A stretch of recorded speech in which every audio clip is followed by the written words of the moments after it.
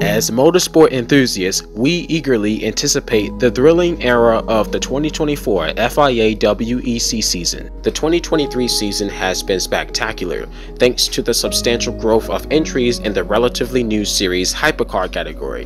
2023 marked the beginning of the new golden era of endurance racing, opening doors for LMH and LMDH cars to compete head to head for overall victory. As we approach 2024, knowing the season track calendar, grid entries, new manufacturers, teams, and significant field changes is crucial. The way things are going will be different and more incredibly exciting than before. Firstly, let's talk about grid expansion and the changes. The full season entry for the 2024 World Endurance Championship could expand to as many as 40 cars. For the 2023 season, there were 36 to 38 cars across three classes on the grid Hypercar, LMP2, and GTE AM. When it comes to multi class endurance racing, there is not only one race going on, there are multiple. The growth of WEC's hypercar class has resulted in the loss of the secondary prototype class, which is the essential part of what the organization call its endurance pyramid that plays a role in the European and Asian Le Mans Series and the IMSA Sports Car Championship. The LMP2 category will no longer be on the WEC grid in 2024 and will only compete in one race throughout the season, the 24 Hours of Le Mans. That is because next year's season will feature a significant increase in entries in the hypercar class to over 20 cars, with the arrival of BMW, Alpine, Lamborghini, and potentially Isotta Fraschini. Unfortunately and sadly, Glickenhaus confirmed they will not return to the WEC grid in 2024. The FIA planned to make grid space for multiple manufacturers in the new LMGT3 category that replaces GTE AM for next season to compete for the first time in FIA WEC. WEC's LMGT3 class serves the low cost budget for the GT3 production based cars that also race in the IMSA Sports Car Championship. We expect to see top automobile brands like Ferrari, Porsche, Aston Martin, BMW, Mercedes, Lamborghini, Lexus, Chevy Corvette, and even the new Ford Mustang GT3 going head to head next year. Overall, next year's WEC entry list seems to be very packed. The ACO confirms that manufacturers currently involved in the hypercar class will be given priority. Manufacturers will be assigned two grid slots each, the FIA and ACO jointly administer the WEC series, with a minimum amount of 16 grid slots arranged in LMGT3 for 8 manufacturers, each running two cars. The 2024 championship total listed between 36 to 38 entries due to exceeding garage number limits at certain tracks. Autosport reported that while 2024 could see 40 cars on the grid, fewer opportunities for private teams will be available.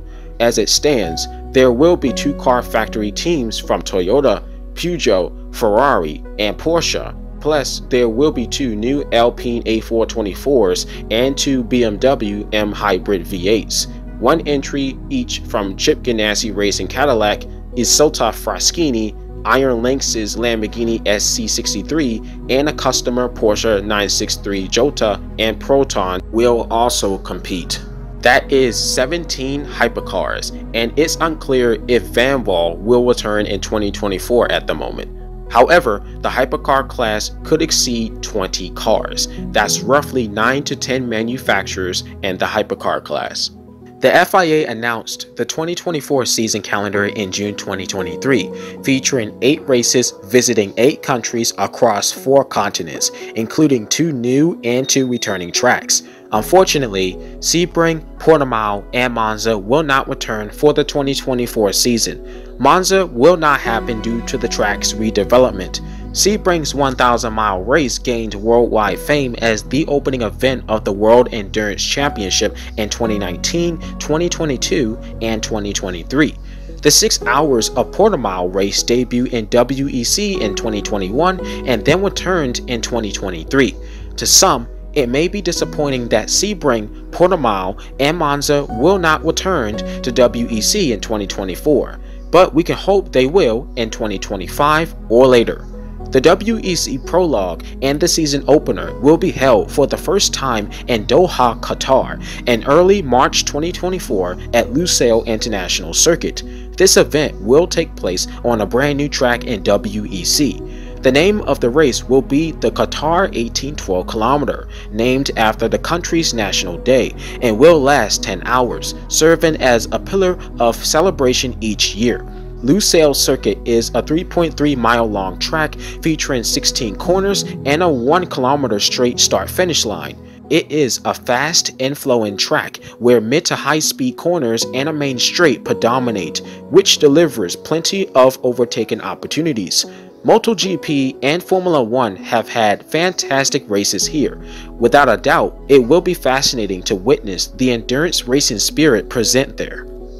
Round 2 introduces another new racetrack as Imola replaces Monza as the Italian round of the WEC in April 2024. The 6 hours of Imola race will happen for the first time in WEC history. It is a 3 mile long track featuring 19 turns located in northern Italy. Imola is notorious for its association with the dangers of Formula One. The racetrack draws inspiration from Nürburgring and Circuit de Spa. The track features technical chicanes, long straight, narrow sectors with low to mid speeds and elevation changes that make it tough to overtake under braking. It will be fascinating to see how the racing will go at Imola for WEC. Round 3 is a 6 hour race at Circuit de Spa in Belgium's forest town of Spa, hosted in May 2024. The 6 hours of Spa is the event that gives the best rehearsal to the following 24 hours of Le Mans. Spa is one of the oldest circuits in the world and is well known for endurance racing and Formula One. Circuit de Spa is a fantastic track and mercilessly unforgiving, with Raidillon and Eau Rouge being some of the most dangerous turns of any racetrack in existence. Spa is a 4.3 mile long technical circuit with 20 turns designed for high speed racing and overtaking. Round 4 is a 24 hour race at Circuit de la Sarthe, known as the 24 Hours of Le Mans in France's city of Le Mans. The event will take place on June 15th and 16th, 2024. The 24 Hours of Le Mans is a brutal test of endurance where competitors raced multiple classes of fast cars for 24 hours flat out of the incredibly long 8.5 mile circuit with 38 turns. WEC's Le Mans race features the largest car grid than any other race in the series. The 92nd edition of the 24 hour French race will see well over 60 cars across three classes on the grid. The hypercar class will see approximately 20 cars at Le Mans, making the 2024 race even more thrilling. Le Mans has been the most enduring racing competition in the world since 1923. It's an exciting endurance event that has kept motorsport enthusiasts glued to their screens or cheering on the sidelines for a century. Round 5 brings back the 6 hours of Sao Paulo to the Interlagos circuit in Brazil, South America. WEC returns to Brazil in mid-July 2024 for the first time since 2014. After a decade, it is exciting to witness the return of this track to WEC. Interlagos is a 2.6 mile track with 15 turns. One of the main characteristics of Interlagos is that the hilly sloping turns make it challenging for cars and drivers to master.